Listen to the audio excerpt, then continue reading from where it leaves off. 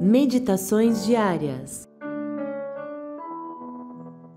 Que a paz de Deus seja com todas e todos vós. Amém. Prezados irmãos e irmãs na fé, a palavra bíblica nas senhas diárias para esta terça-feira, dia 24 de janeiro, do Antigo Testamento, do Salmo capítulo 91, o versículo 9, onde o salmista escreveu: Você fez do Altíssimo a sua morada.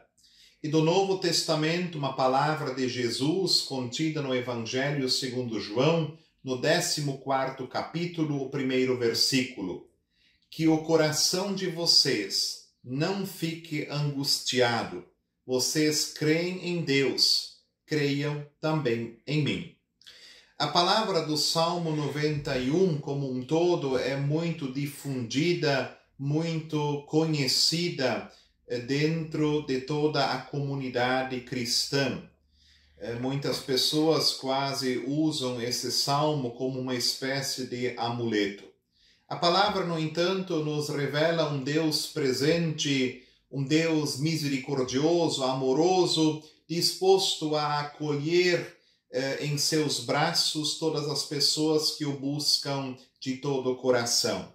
A palavra do Novo Testamento é um convite para que nós perseveremos na fé, para que tenhamos esperança também em tempos sombrios, em tempos de dificuldade, dúvida e aflição.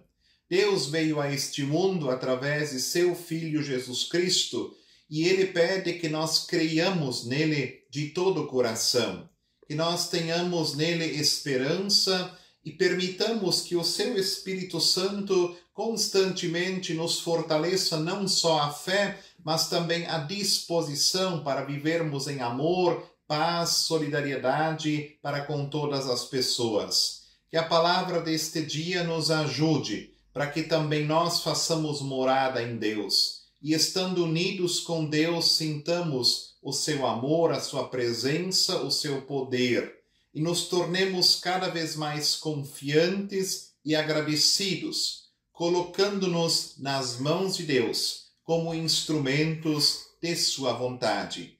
Pense nisso. Deus te abençoe. Meditações diárias. Todos os dias uma reflexão da Bíblia para fortalecer a fé.